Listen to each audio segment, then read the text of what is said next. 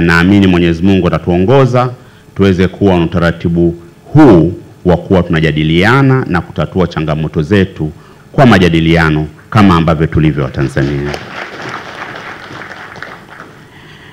Pili, Mheshimiwa eh, Rais, nichukue nafasi hii kukukumbusha kidogo tarehe 16 mwezi wa kumi mwaka elfu mbili na ishirini na moja ulikuwa unazindua au ulikuwa mgeni rasmi katika shughuli ya miaka hamsini ya KCMC Moshi, nadhani unakumbuka.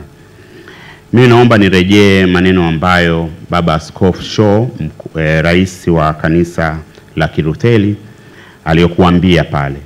Alisema, na naomba kunukuu, Watanzania wawe na ustawi, maana yake afya njema.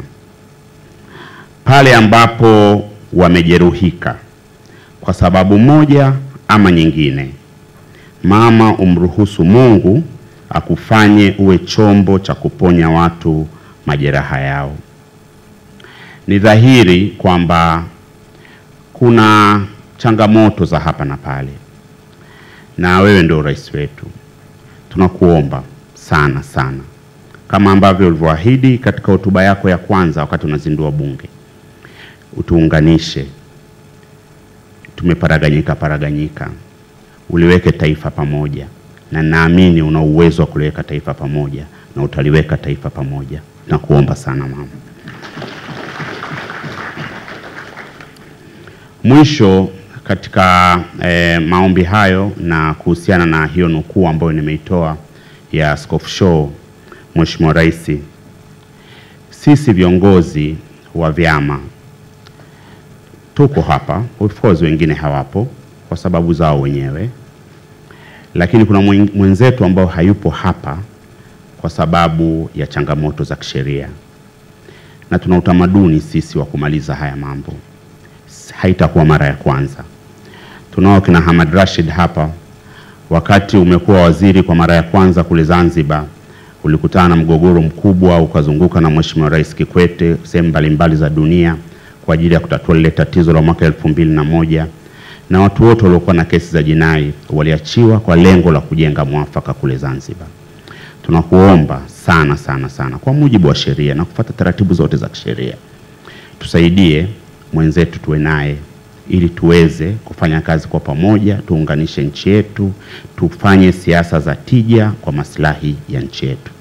Nashukuru sana Mheshimiwa Rais, asante sana. Hapa nataka nizungumzie ni, ni, ni, nizungumzie kidogo aliloniomba mwanangu mwenyekiti wa TCD kwamba yule mwenzetu msamehe basi aje awe na sisi.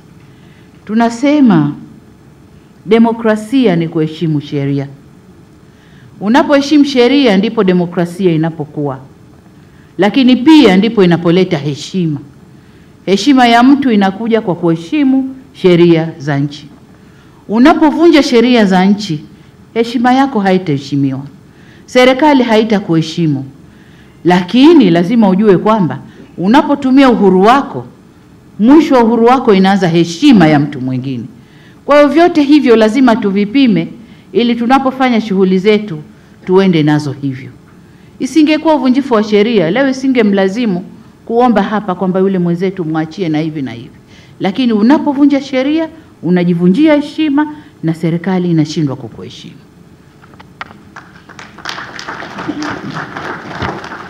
Naomba tufanye kazi kwa kuheshimu sheria. Waswahili wanasema mtaka nyingi na saba hufanya nini? Ingawa kusameheana napo kupo eh. Kusameheana napo.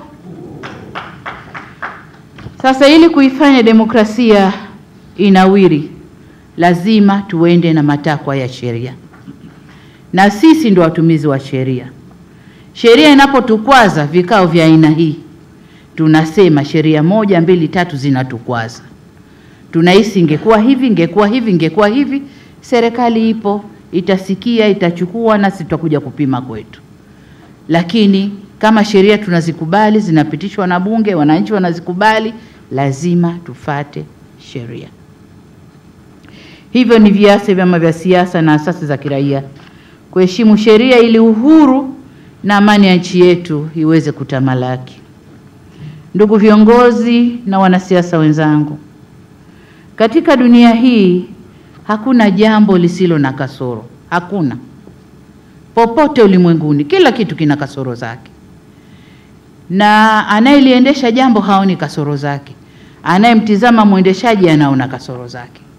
Hata tunapokuwa kwenye ngoma, kama unacheza huendi na mdundo wa nje, ndo wanakuona wewe. Unayedemka humo ndani ya ngoma hujioni kwamba nakosea steps au siendi na mdundo, hujioni umo tu unahambukwa hey, hey, hey, hey. Lakini anayekutizaza mm, yule mm -mm. Kwa hiyo vivyo hivyo hakuna jambo lisilo kasoro. Kwenye kuendesha serikali kuna kasoro, kwenye vyama vyenu vya siasa kuna kasoro, tena kubwa tu, tunawasikia mnalumbana huko. Lakini jambo la busara ni kuondoa kasoro kwa kuelimishana, kuelekezana na kujadiliana. Tukikaa kuelimishana, kuelekezana na kujadiliana, tutakuwa tunaondosha kasoro zetu, tutakuwa tunaondosha kasoro zetu. Hivyo niitoe rai kwa vyama vya siasa na taasisi za kiraia kwamba kunapokuwa na kasoro zozote katika mifumo yetu au kuna mambo fulani hayaendi sawa, jambo la busara ni kuelezana, kujadiliana. Kama tunakubaliana au tutatoka bila kukubaliana, ni vyema tuwe na msimamo wa kuiwezesha demokrasia yetu kushamiri, kwa sababu si kweli kwamba tutakaa tuzungumze sote tukubaliane.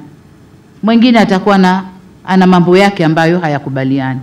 Sasa unapotoka hujakubaliana na wenzio, basi tutoke na msimamo kwamba demokrasia iendelee kushamiri. Usitoke kwamba mimi sijaridhika, unaenda kuvuruga kila kitu cha nchi nzima kwa sababu we mmoja hujaridhika, nyie wawili hamjaridhika. Hatuendi hivyo, na ndio maana kuna ule msemo wanasema, wengi wape, lakini wachache wafanyeje? Waheshimiwe.